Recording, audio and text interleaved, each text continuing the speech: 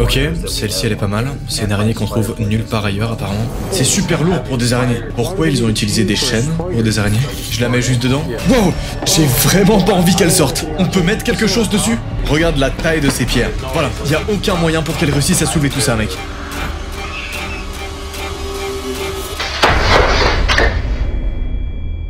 Bonsoir, aujourd'hui on va parler d'un sujet plutôt choquant et dérangeant qui a fait beaucoup polémique ces derniers jours. Cette vidéo. Ou plutôt la vidéo des deux personnes qui ont décidé de commander une araignée sur le dark web. Le dark web, c'est quoi? C'est une partie cachée d'Internet, une partie sombre, illégale, que vous n'avez pas le droit d'accéder. Dessus, on peut y trouver des trucs complètement normaux, genre des tables, des chaises, des fourchettes, tout comme des humains, des membres ou des choses comme ces araignées un peu bizarres. Bref, on peut y trouver littéralement tout et n'importe quoi. Alors messieurs dames, accrochez-vous parce que voici ce qui s'est passé lorsque ces deux personnes ont décidé de commander une araignée sur le dark web. Alright, bro, this That is, is down there? yeah, this spider down there. The black Goliath spider is their largest spider. Avant toute chose, il faut que je vous présente les deux protagonistes de cette histoire. Quoique, à force, vous commencez sans doute à les connaître. Les deux protagonistes, c'est Chester et Parker, deux enquêteurs aux États-Unis qui réalisent des vidéos un peu étranges sur le paranormal. Très souvent, ils mènent des enquêtes et on les appelle pour faire des visites chez des gens qui vivent des trucs un petit peu chelous. Mais cette fois-ci, ils ne vont voir personne. Non, tout se passe chez eux. Chester, l'un des deux enquêteurs, a trouvé un site planqué, très probablement sur le dark web, sur lequel ils vendent des araignées. C'est littéralement des araignées.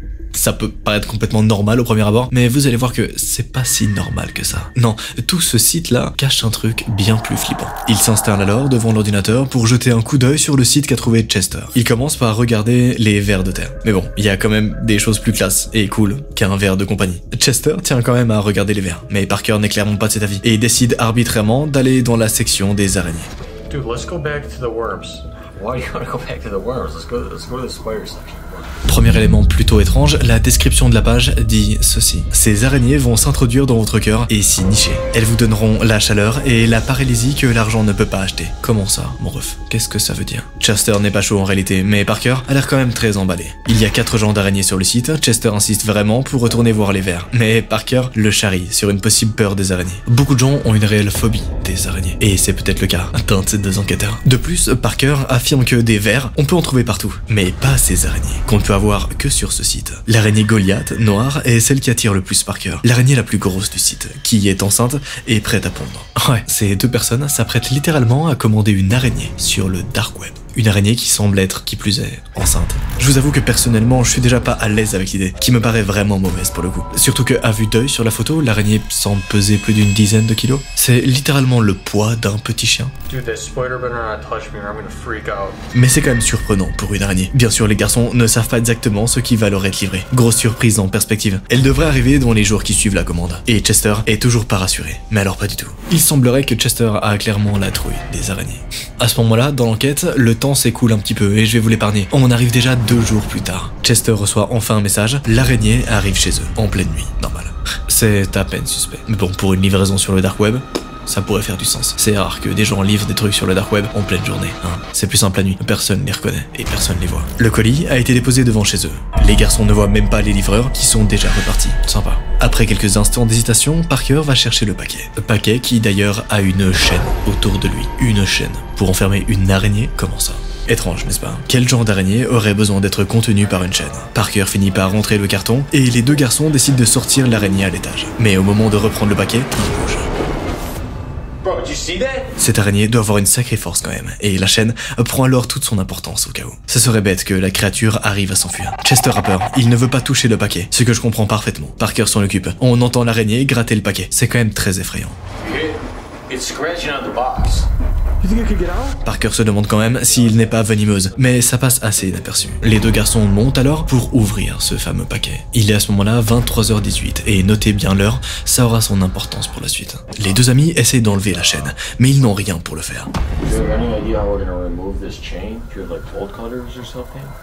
Ils se demandent quand même ce qu'ils vont trouver dans la boîte. Ils décident de faire glisser la chaîne pour l'enlever et ils y arrivent au bout d'un moment. Ils peuvent enfin l'ouvrir. Déjà la boîte ne sent pas très bon. Ils sont persuadés de voir directement l'araignée, mais il y a une autre boîte dans le colis. Sur cette boîte, il y a une étiquette. Et c'est là que le deuxième élément vraiment étrange survient. Sur l'étiquette, c'est écrit danger de niveau biologique classe 2. Comment ça? It says notice biohazard level 2. Ce n'est clairement pas rassurant. Parker retire la boîte du colis, qui est quand même très bien protégée. Chester remarque un symbole de danger sur le paquet, mais les deux garçons passent rapidement dessus. Ils n'ont même pas lu le reste de l'étiquette, c'est hyper dangereux.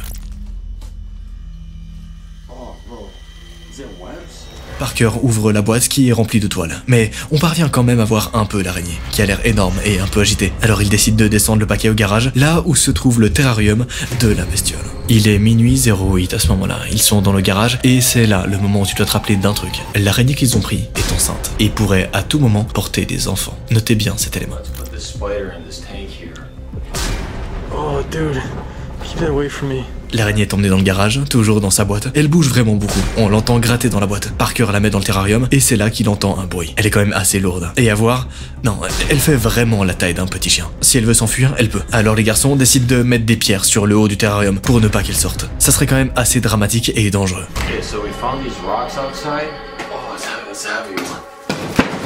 Les garçons vont chercher de grosses pierres sur la boîte parce que oui, ça ressemble plus à une boîte qu'à un terrarium. Et ils les posent sur le couvercle. Au moins normalement, elle ne devrait pas sortir. Bro, this thing is really creeping me out. It's staring at you. C'est là qu'ils vont faire un truc qu'ils font très souvent dans leurs vidéos. Ils vont prendre des caméras surveillance et enregistrer ce qui se passe durant la nuit pour voir si cette araignée va faire un truc bizarre. C'est alors qu'ils remontent en laissant l'araignée ici parce qu'apparemment il fait froid. Le terrarium n'est pas chauffé. Pas sûr que l'araignée apprécie en réalité. Ils partent se coucher et laissent les caméras enregistrer ce qui se passe pendant la nuit.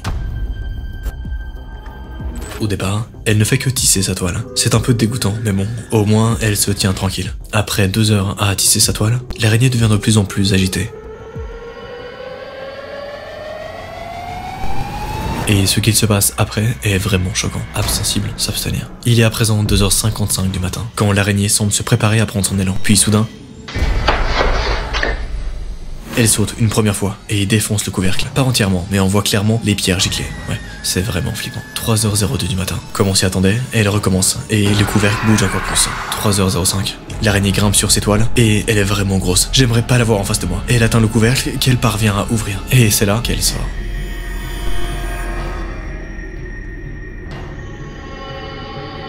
Dix minutes plus tard, le terrarium est vide et l'araignée n'est plus visible. Ouais, vous l'avez compris, à 3h du matin, cette araignée se balade librement à l'intérieur de la maison. On sait plus où elle est. À 3h41 du matin, les caméras de surveillance de la cuisine filment ceci.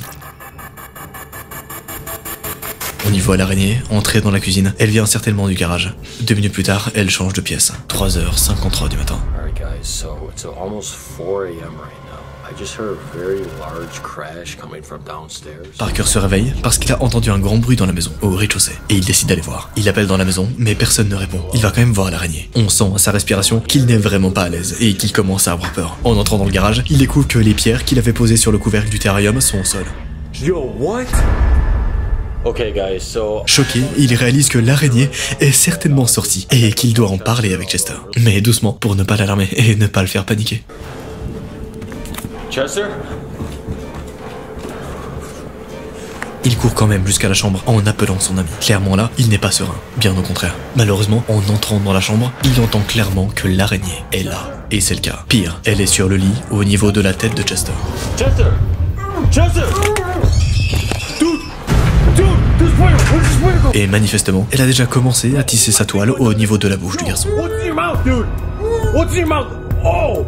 Oh! Le garçon est réveillé par des cris de Parker. Il faut absolument qu'il aille se laver la bouche et vite. Chester reproche à Parker d'avoir laissé sortir l'araignée, mais Parker assure qu'il n'y est pour rien. Le lendemain, à 22h44. Les deux garçons ont égaré leur araignée qui s'est enfuie. Alors, ils ont décidé de regarder les images qu'ils ont filmées pendant la nuit précédente pour voir ce qu'il s'est passé et surtout pour voir comment cette chose a réussi à s'enfuir. Bon, forcément, ils flippent quand ils voient que l'animal a réussi à sortir seul, sachant qu'ils ont un chat. Une chance qu'il ne l'ait pas mangé. En fait, voici précisément ce qu'il s'est passé durant la nuit. Ils découvrent que l'araignée a pénétré dans la chambre de Chester à 3h45 du matin. Elle est tout de suite montée sur le lit et s'est placée sur le visage du jeune homme. C'est creepy. Ils réalisent à ce moment-là que l'araignée a peut-être déjà pondu ses œufs œufs à l'intérieur de Chester. Peut-être que la Chester a déjà à l'intérieur de son corps les œufs de l'araignée. C'est très creepy. Parker essaie de la rassurer, mais Chester commence à paniquer. Il dit même qu'il sent des œufs à l'intérieur de lui et qu'ils sont des trucs rampés dans son corps. Il panique complètement et même si Parker essaie de le rassurer, il hausse la voix. En même temps, à sa place, quand on apprend qu'on a peut-être des araignées en train de se balader à l'intérieur de son corps, c'est clairement pas fou. Je pense que j'aurais paniqué aussi.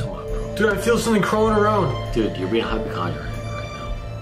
C'est là que ça tourne vraiment mal pour les deux autres gens. Ils n'achèteront certainement plus d'animaux sur le dark web. Et bien sûr, on sait comment toute cette affaire s'est terminée parce que j'ai mené mes petites recherches et j'ai trouvé ce qu'il s'est réellement passé. L'estomac de Chester a été examiné et il n'y a apparemment aucune araignée. Personne n'est certain de ce qu'a fait l'araignée ce soir-là dans la bouche de Chester. Ils vont aller voir le docteur pour avoir de plus amples d'informations. Mais malheureusement, ou heureusement, le docteur n'a rien trouvé. Il semblerait que l'araignée n'ait pas eu le temps de pondre ses œufs, ou du moins c'est ce qu'ils espèrent. En espérant qu'un jour, il ne se réveille pas au milieu de la avec des araignées qui sortent de son corps. Ça serait vraiment flippant, on est d'accord.